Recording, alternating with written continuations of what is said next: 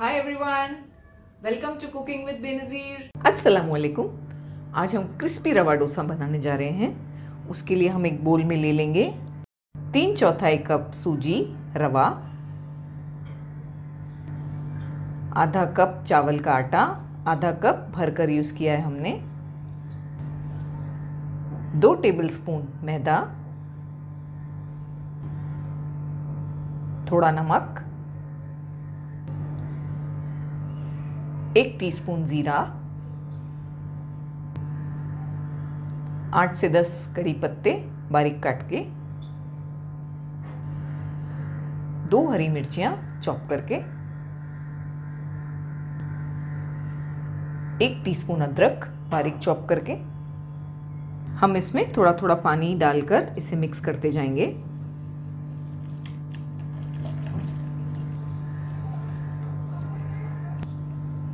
हमने इसमें टोटल तीन कप पानी ऐड किया है, यानी कि तकरीबन 700 सौ पानी ऐड कर दिया है।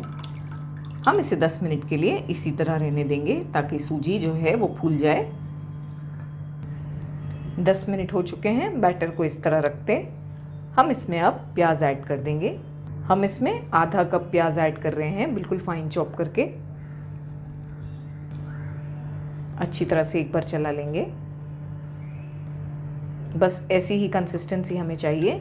ये इतना ही पतला होना चाहिए। हमने इसमें टोटल तीन कप भरकर पानी यूज़ किया है।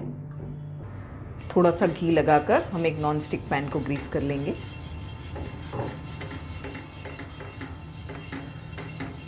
आपको ध्यान रखना है कि तवा बहुत गर्म होना चाहिए। रवा डोसा डालने के पहले हम इसे एक बार इस तरह चला लेंगे। आप जितने भी रवे डोसे बनाएँ, आप ध्यान रखें कि आप पहले इसे इस तरह चलाएँ और फिर इसे पैन पर डालें।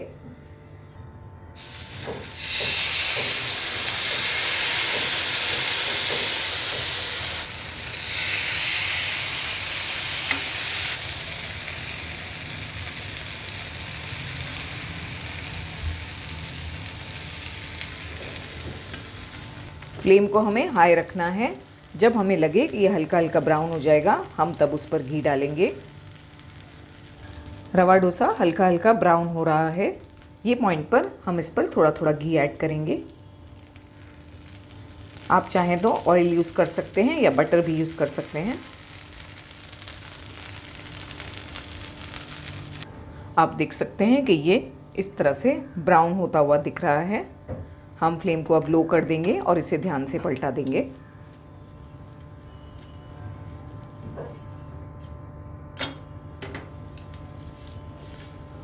फ्लेम को मीडियम करके दूसरी साइड पे भी हम इसे एक से दो मिनट पका लेंगे।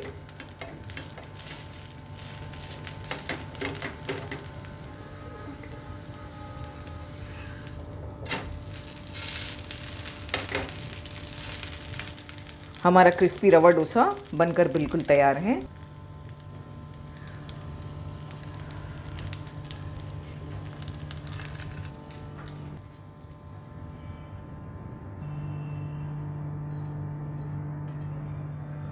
आप देख सकते हैं कि हमारा रवा डोसा बहुत ही क्रिस्पी बनकर तैयार हुआ है। आप इसे नारियल की चटनी या मूंगफली की चटनी दोनों से खा सकते हैं। नारियल की चटनी और मूंगफली की चटनी का वीडियो हमारे चैनल पर अपलोडेड है। आप इसे ज़रूर देखें और ज़रूर बनाएँ। इसका लिंक हमने डिस्क्रिप्शन बॉक्स में भी दे दिया है।